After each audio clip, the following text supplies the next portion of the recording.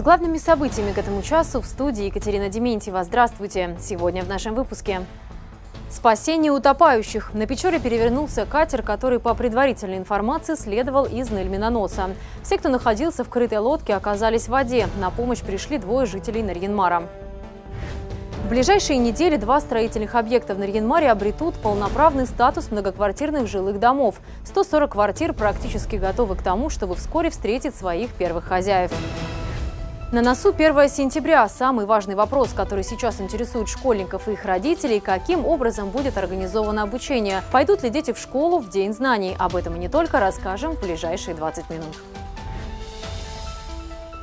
И в начале выпуска одна из самых обсуждаемых новостей этого дня. Накануне двое мужчин спасли пятерых утопающих. Катер, который по предварительной информации следовал из Нельминоноса, перевернулся в районе поселка Искателей. Все, кто находился в крытой лодке, оказались в воде. На помощь тонущим пришли Евгений Борисевич и Александр Маслов.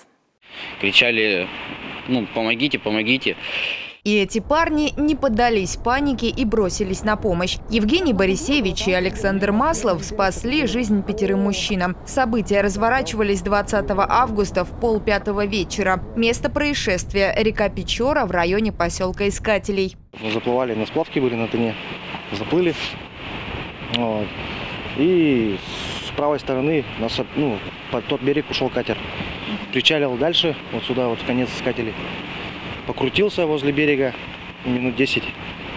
Что-то в этом катере сразу насторожило Евгения, и он пристально наблюдал за ним несколько минут, будто предчувствовал беду. Видимо, боковой волной его опрокинуло метров 70 от берега. Вот. И сразу я газ полный и поехал туда. Подъезжая, подъезжав туда, э, вокруг никого нету, из подлодки выплывал ну, молодой, молодой человек. Вот. Выплыл, как бы наверху сидел на днище лодки. Ну и вокруг трое плавало. Один пытаясь выбраться на берег.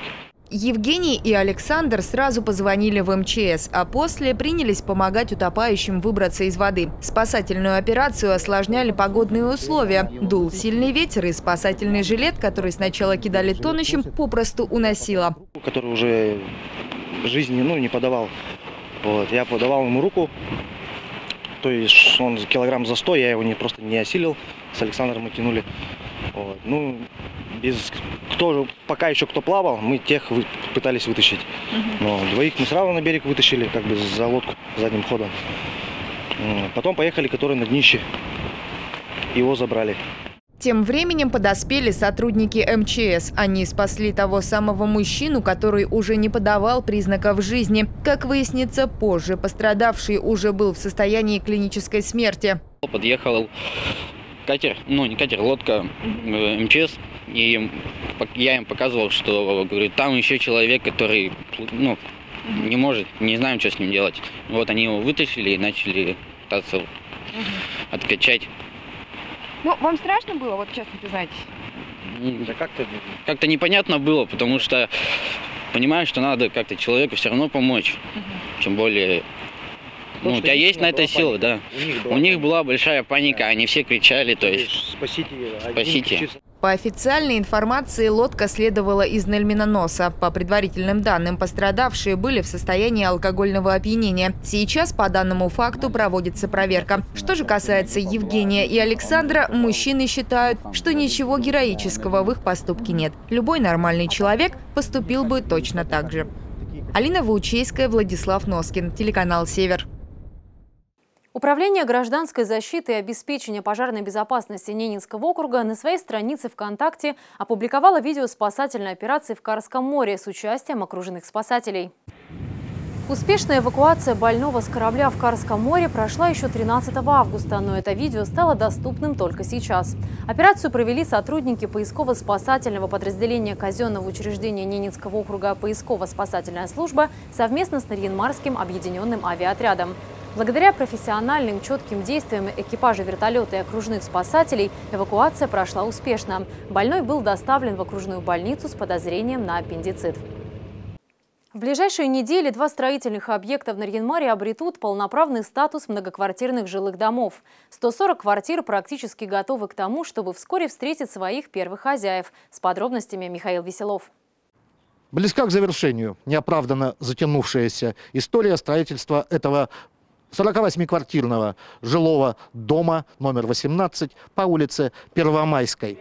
Квартиры в этом доме для переселенцев из ветхого и аварийного жилфонда Наринмара по контракту с централизованным стройзаказчиком построила подрядная организация «Полюс Жилстрой». Готовность дома к эксплуатации лично проверил временно исполняющий обязанности губернатора Ненецкого округа Юрий Бездудный. Чтобы новоселье не было испорченным, важна каждая мелочь. Несмотря на то, что подрядчик запредельно нарушил сроки сдачи объекта, нареканий к качеству построенных квартир нет. Их планировка и техническое оснащение однозначно в числе лучших из ныне существующих в Наринмаре. Если действительно во всех квартирах такое качество, то это замечательно совершенно близок к заселению и новый дом по улице Пионерской. Его примечательная особенность – оснащенность квартир автономными системами отопления. На кухнях установлены газовые водогрейные котлы. Это, естественно, позволит сэкономить траты на оплату коммунальных услуг. Тема актуальна, особенно с учетом того, что часть квартир предназначена для сирот. Интересно и то, что в квартирах на первом этаже полы с подогревом. Дом построила фирма «Новатор». Мастер Александр Талеев, уроженец поселка Нельвин-Нос, с уверенностью утверждает, что компания, в которой он трудится, неукоснительно выполнит свои обязательства. В качестве положительного примера для всех строителей можно отметить и тот факт, что заранее и качественно благоустроена придомовая территория, где, в частности, есть симпатичная игровая площадка. Она уже успела полюбиться детворе из соседних домов. Жизнь уже кипит да, на да, детской да. площадке. Дети ходили, тут все спрашивали, когда будет установлена детская площадка. И, наконец дождались. Да, да, да. Как отметил в завершении инспекции, исполняющий обязанности руководителя департамента строительства, этот дом будет введен в эксплуатацию точно в срок, в соответствии с контрактом. В этом доме 72 квартиры.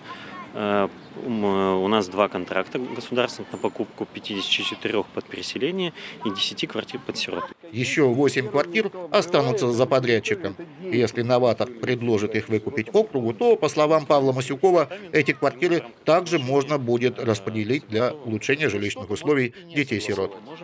Михаил Веселов, Леонид Шишелов, телеканал «Север». Приближается главный школьный праздник 1 сентября. Самый важный вопрос, который сейчас интересует школьников и их родителей, каким образом будет организовано обучение в связи с введенными ограничительными мерами по недопущению распространения новой коронавирусной инфекции. Как стало известно на брифинге, который прошел в Департаменте образования, культуры и спорта, учебный год начнется, как и положено, в День знаний. Первая школа – одна из крупнейших в городе. Здесь обучается больше 900 учащихся. В этом году в связи с ремонтом ученики и педагоги временно разместятся в зданиях других школ и будут учиться во вторую смену. А, мы приступаем к обучению в очень необычных условиях. У нас в этом году проводится ремонт, ремонт масштабный, большой. И в течение сентября обучение будет проводиться а, в двух учебных заведениях. Это имеется в виду Ненецкая школа-интернат которой у нас будет проводиться обучение первых и четвертых классов в первую и вторую смену. И э, все остальные классы с 5 по 11 будут обучаться во вторую смену с 14 часов в школе номер 4.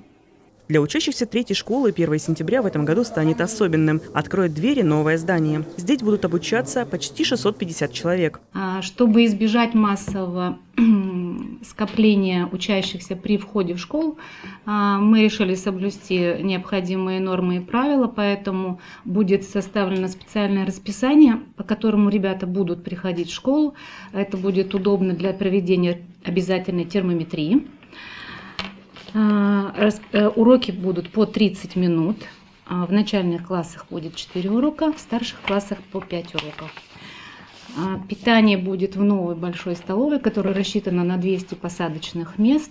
Расписание уроков уже составлено с учетом питания и с учетом прихода и ухода детей из школы. Генеральная уборка в помещениях будет проводиться не реже одного раза в неделю, а также регулярное проветривание классов в отсутствии детей. Уроки в сентябре текущего года будут длиться по 30 минут. Рекомендовано в сентябре месяце всем школам для начальной школы проводить, для того, чтобы постепенно войти в учебный процесс, проводить по 4 урока, а для основной школы по 5 уроков. Соответственно, еще хотелось бы здесь отметить, что уроки будут по 30 минут. Использовать маски дети и педагоги смогут на свое усмотрение, а вот работники пищеблоков будут работать только в масках и перчатках. Измерение температуры на входе для всех будет обязательным. Если у ребенка будет температура выше 37 градусов, его изолируют и сообщат родителям. Также в школах будет организовано расписание и кабинетная система. За каждым классом будет закреплен свой кабинет, а учителя будут переходить из класса в класс. Это не касается предметов, по которым нужно специальное оборудование. Уроки химии, физики, информатики, физкультуры. Количество детей в помещениях регламентировано. На одного ребенка должно приходиться не менее 2,5 квадратных метров. Составлено специальное расписание уроков, рекомендовано учреждением и расписание перемен.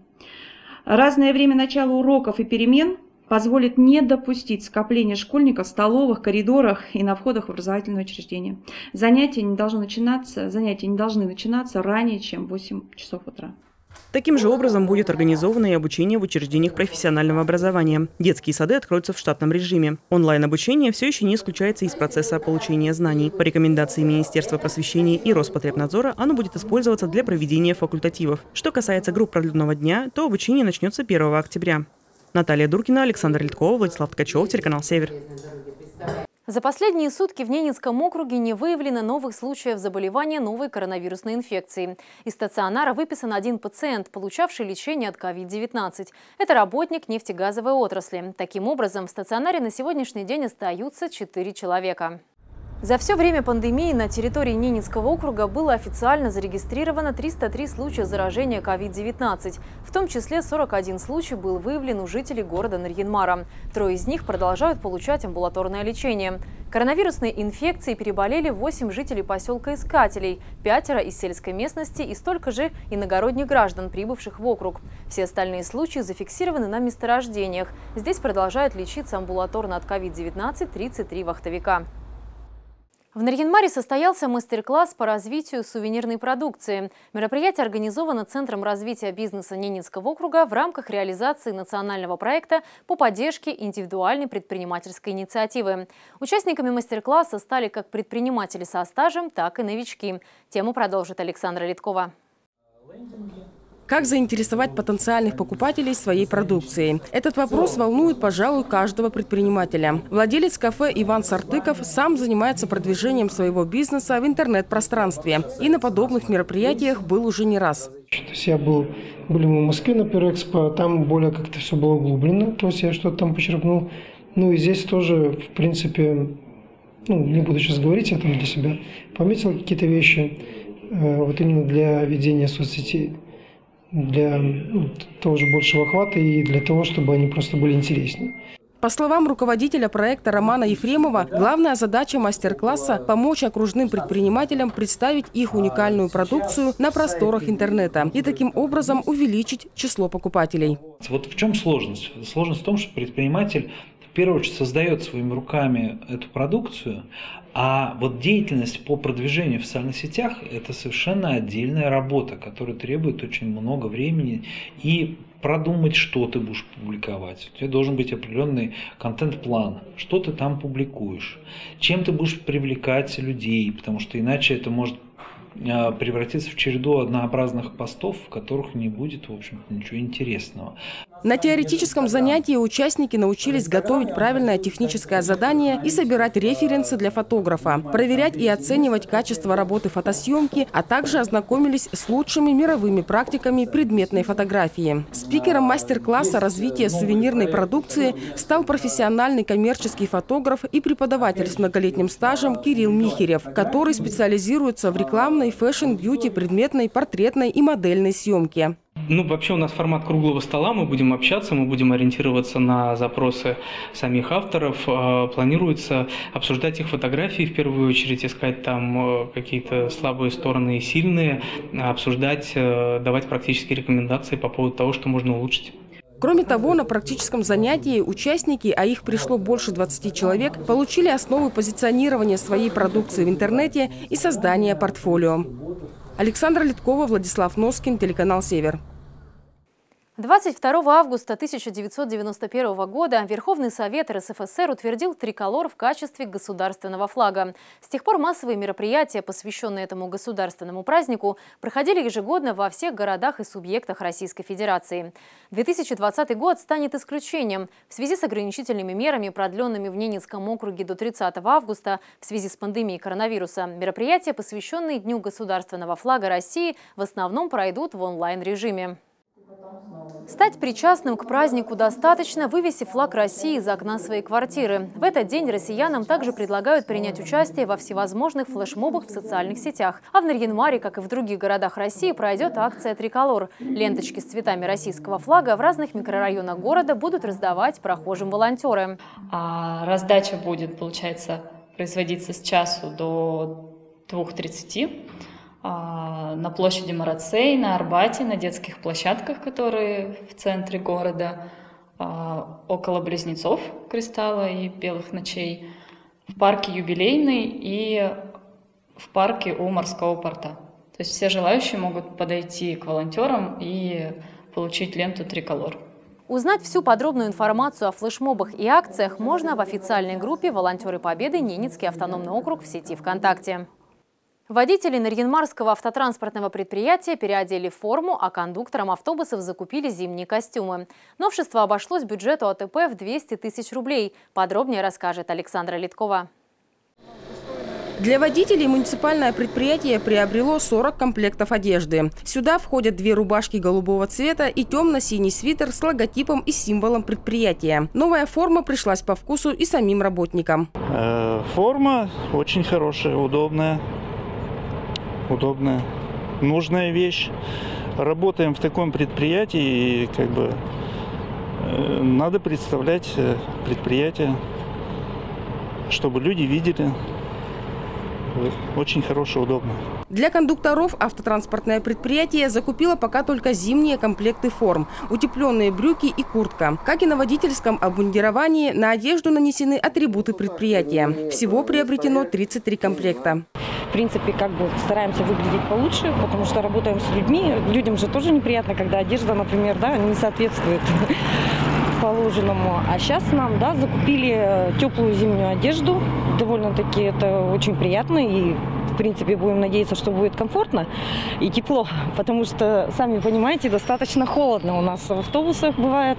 Печки не всегда срабатывают как положено. Ну и сами понимаете, двери открываются, закрываются, всегда поток холодного воздуха есть. Так что мы очень рады, что нам закупили новую форму.